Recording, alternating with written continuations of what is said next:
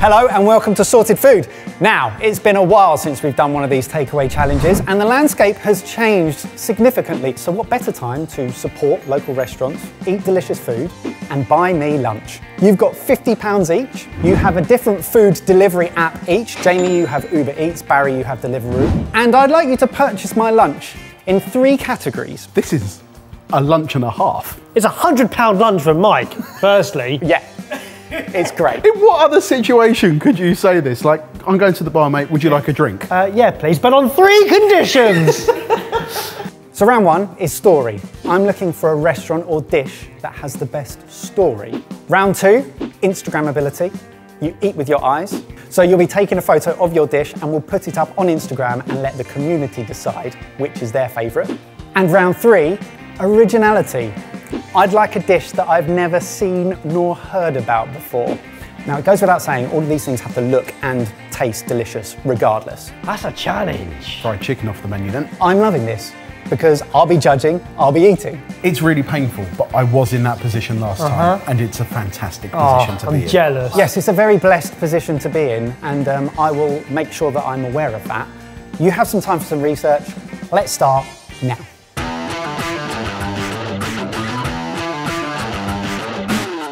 Mike's an incredibly picky and tricky customer to try and please. He's not going to make this easy for us. Mike's not just judging this on how good it tastes or how good it looks. He wants to know the backstory. He wants to know everything about it, and that's where I fall down. I'm most nervous about the Instagram battle. It's something that I should be good at, but I'm, I'm losing it over and over again. You lose it on a daily basis because Ebbers is so much more popular than you are on Instagram. I think we're going to have to search pretty hard to find something Mike's not tried or heard of before. He's got quite a short-term memory though. So just do something from a couple of years ago. Might be safe. Mike, round one, story time.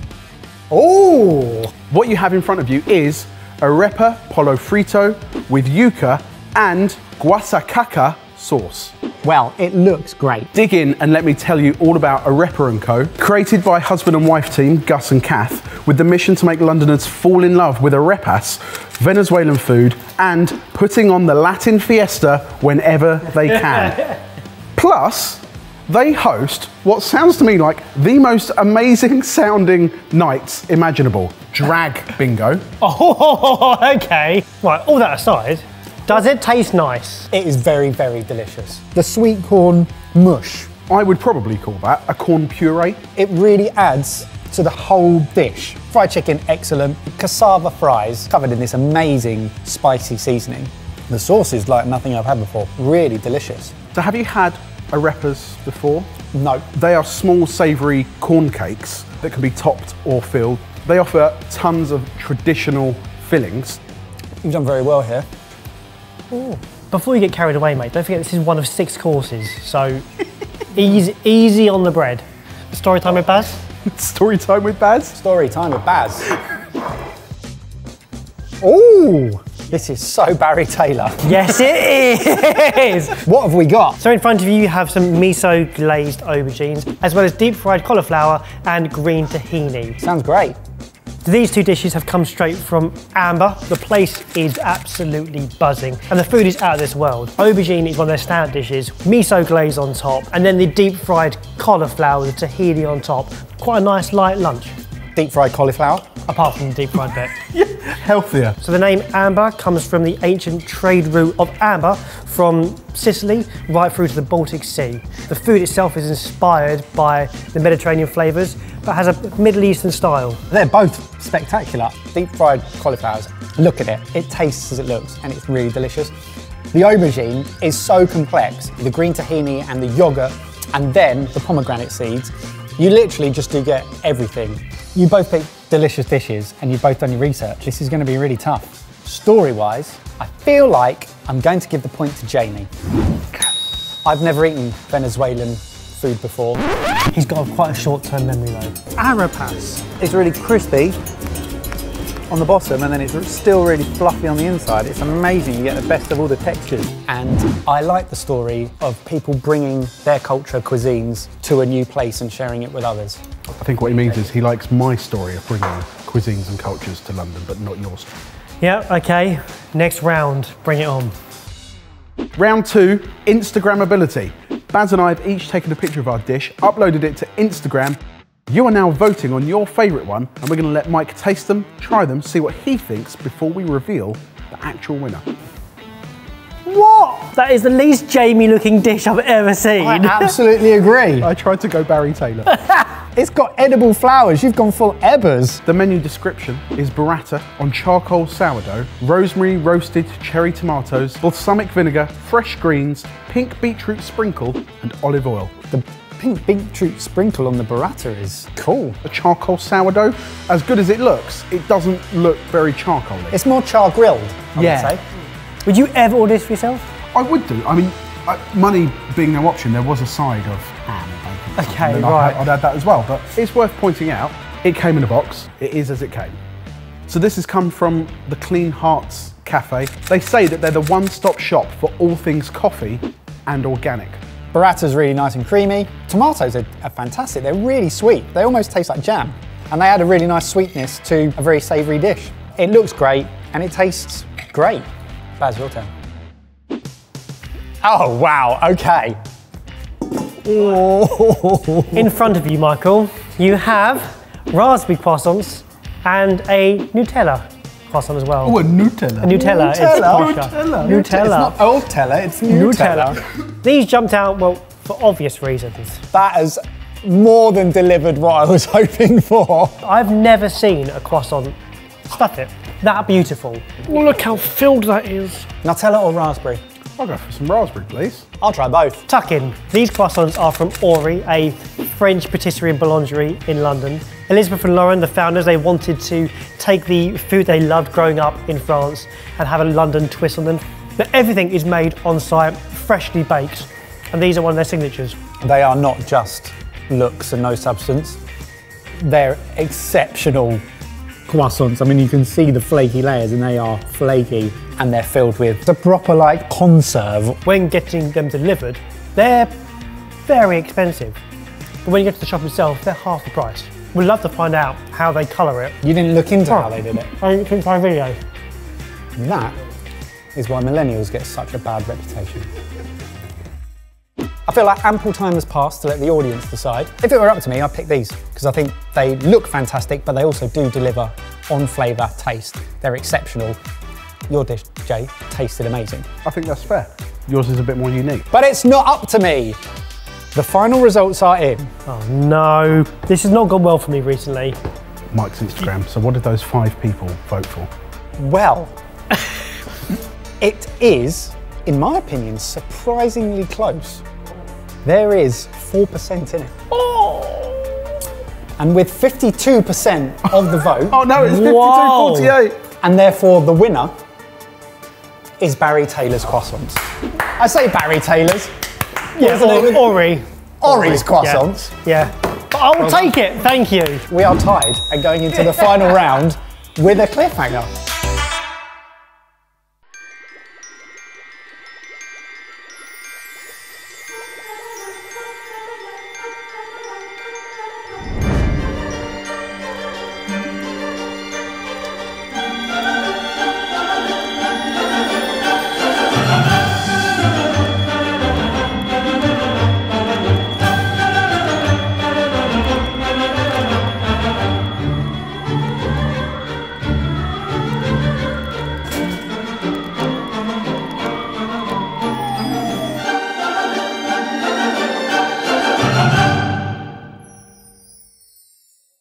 Round three, originality. Find a dish that Mike has never had or heard of before. All to play for. As it's so delicately poised, full transparency, I'm going to make you work for it. I'm also going to make you work for it. Lift the cloche. Okay, you are. Wow. Oh, it smells amazing. I can see something that looks like an organ. In front of you, you have Mao Xue Wang, probably. This is a dish that originates in Chongqing, a major city in the southwest of China. So Mao, Can I stop you there? Can I drink this, please? go ahead. What is it? Quickly. This is spicy and it's on my lips. What is it? Feel free. That's a soybean drink. Fine. That's tasty. So traditionally, it's made of duck blood curd, tripe, chicken gizzard, and other organ parts, simmered in a broth that is made of peppercorn and I don't know if you can see any in there, chilies. It's tough to see the wood for the chilies. Is this the boiled blood? Yes. It's more texture than anything. I can't really taste much to it. It's like very gelatinous, but it, you have to bite into it. What have I got here? Could be a heart. But I've got to go for it. Good. Oh, That's delicious. So this is from the Old Street Chinese restaurant. It then has its real name, which is Chongqing, the name of the city, and it serves authentic dishes from the city. And the city is a really famous city in China for its cuisine. Flavours are all there. Very spicy, very oily. Therefore, lots of fat, lots of flavour. And you get that sort of sweet and sour edge to it as well. It's great. And I would never, ever, ever have picked this on a menu because I wouldn't have the guts. Pardon the pun. We talk about food waste. Mm-hmm. Nothing has been wasted from the animals that have gone into that dish. It's just our palates and our taste are unfamiliar with those types of ingredients. Have we been sheltered? Uh, yes. Yes. Yes. Look at us. What a privilege to be able to experience this without even having to travel. You've done very well. Strong start. I mean, my lips are on fire Yeah. and I'm in physical pain because of you, but you've done very well. Barry, please tell me you got me gelato.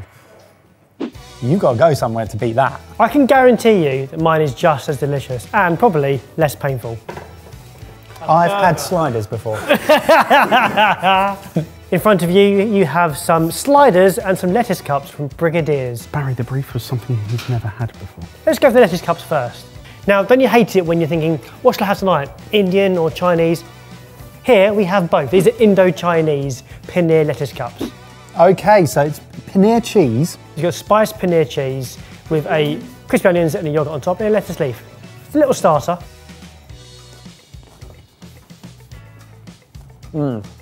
Brigadiers is an Indian restaurant inspired by a lot of the military bars in India. You can go there to watch sports, play pool, cards. They've got lots of bar snacks as well as some amazing Indian dishes as well. God, they're really tasty. But the focus really is on the on the sliders in front of you. Now, I These- don't want to ruin the game, Baz, but I have had sliders. These before. are goat kebab sliders with a fenugreek chutney. I hope you don't mind, but I'm going to discard this after. Jamie's, ru- Jamie's ruined that for me. It's a true Peshwari delicacy, with its name derived from the Pashtun word chapal. These goat tikkis are a mainstay on the Brigadier's menu. Definitely never had a goat slider. I've had sliders, I've had goat, but never all together. So, yes, as a dish, this is completely new.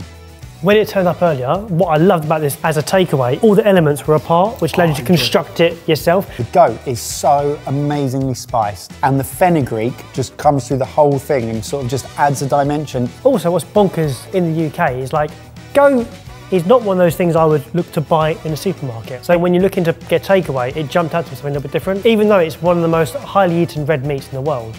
Not in London. No. And I do think there's some comfort in the fact that it's encased in a delicious, shiny bun. It's like taking you outside of your comfort zone, but there's still a little rope around you to Yeah. pull you back in. okay, I have some questions before I make my final decision. Baz, what made you pick this dish? I wanted to go for something that was familiar with us to start off with, like a cuisine that we understand, and then try and find something new within that cuisine. Spaff? Shock value, innit? It was very, yeah, it was obvious. You just went, No.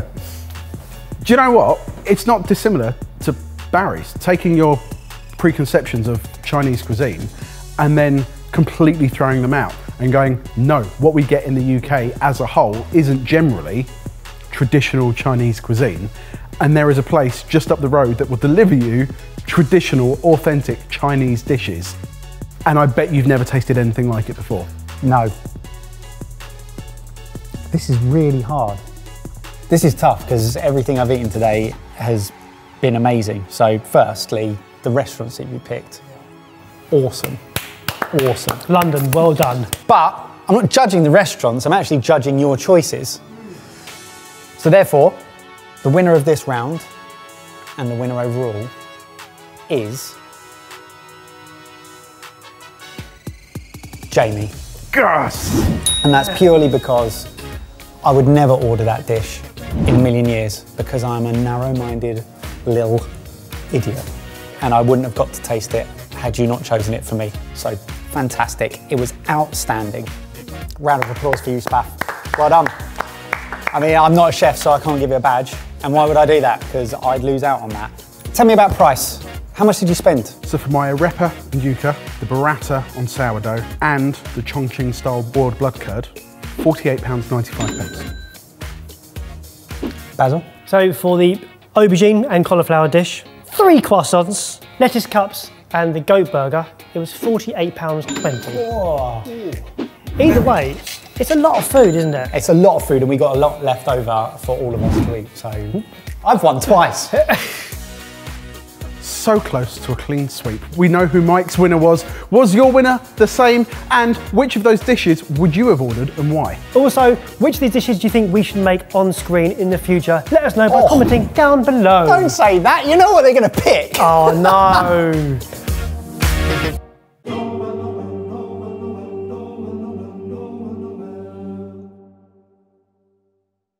you would sue Latin drag. Just putting it out there. It's worth a try. Yeah. Yeah.